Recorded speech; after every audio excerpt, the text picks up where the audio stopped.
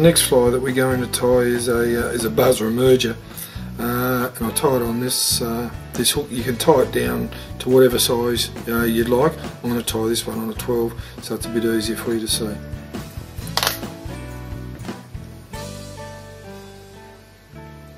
sort of situations do you use this fly in, Pete? Uh, I like to use this fly when the fish uh, are being a little bit finicky uh, and mainly early morning stuff when there's quite a few buzzers about. It's something I like to tie it in a little bit smaller than this, of course in about a 16 and it doesn't give the fish quite as much to look at. It's got just this little bit of sparkle in this uh, holographic tinsel. I think it's just enough to uh, get them to have a, a, quick look. To just fish that are mopping up from whatever's left over from the night. Before. Yeah, yeah, or like the buzzers will still be hatching out like in the morning, uh, what's that? And they'll be still rising. That's why the fish will still be on top.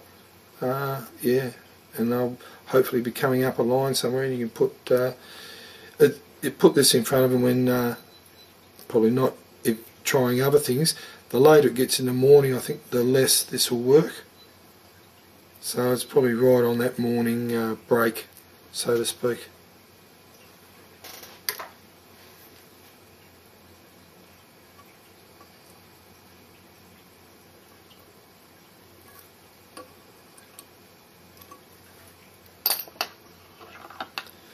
And what we're going to tie in now is a little bit of possum. And we'll make that the over wing and uh, also the post.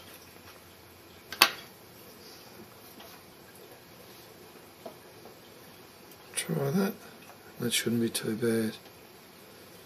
In that early morning stuff too, it's uh, a good idea to have a little bit bigger sighter so you can make sure the fish have taken yours.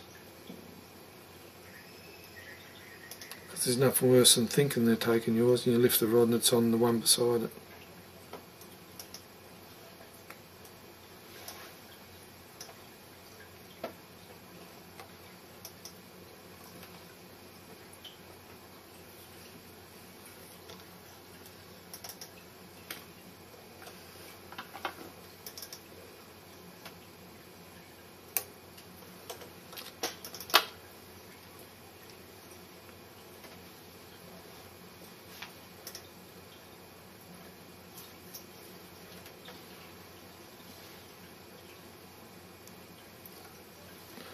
Now we're going to put on a piece of, uh, not a great deal, but just a little bit of claret seal's fur, just in the thorax.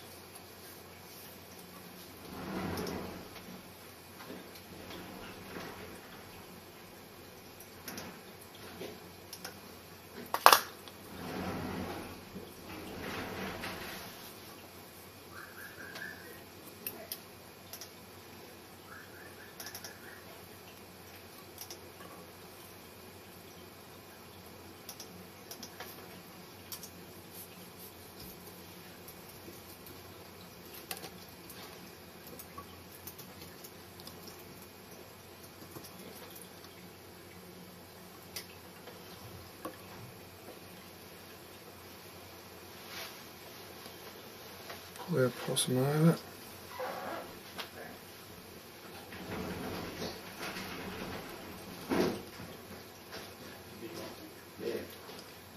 Make sure we're happy with where that's sitting.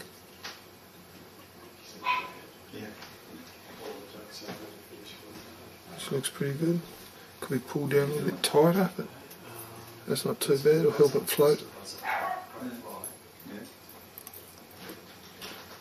Now I'm going to tie in a, uh, a bit of ginger hackle. So I'm going to turn around and put a parachute on this just to suspend it a little bit more in the water.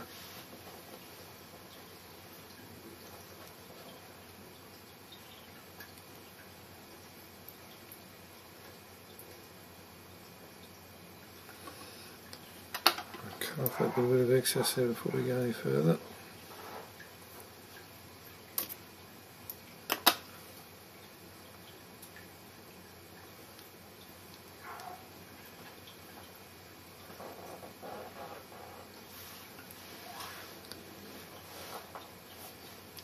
And now I'm going to go around the possum and the hackle at the same time.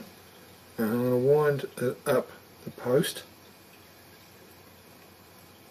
to give it a little bit of a bed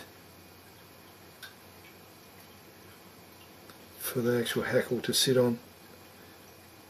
Now depending on where you want this to sit in the water, you can wind this a long way up if you want it to sit right down, like even a little bit lower in the water.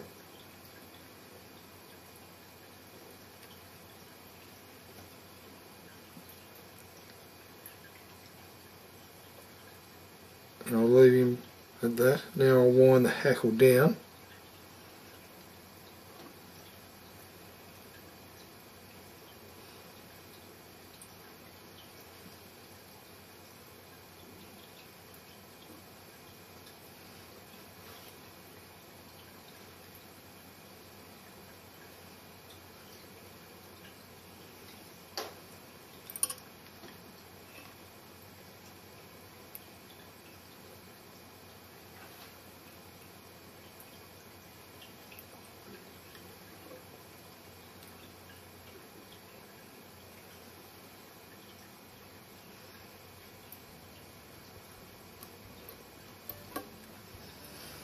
Right, we'll get rid of that hackle, finish tying him off.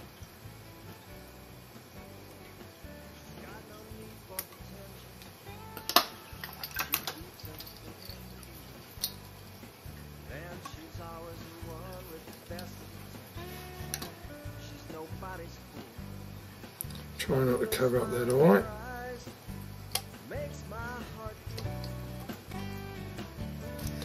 There's a few little barbs here we'll trim off and then we'll just tidy him up. Because these ones over the uh, oh they're hooked, they can just be a pain when you put the line through. And we're going to tease out a little bit of the claret dubbing to just make it look a little bit leggy.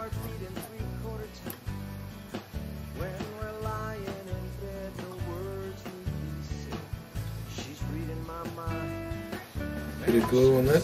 Now when you glue this you can uh, bend or fold this to where you want it to sit in the water.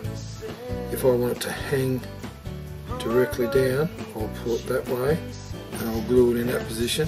If I want it to sit back a little bit further I will glue it in that position and it will actually change the hang of the flower.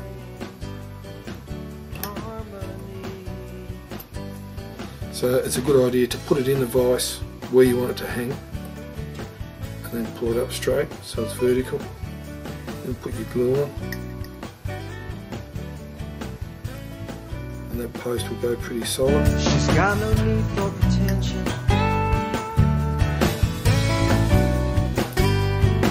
She keeps everything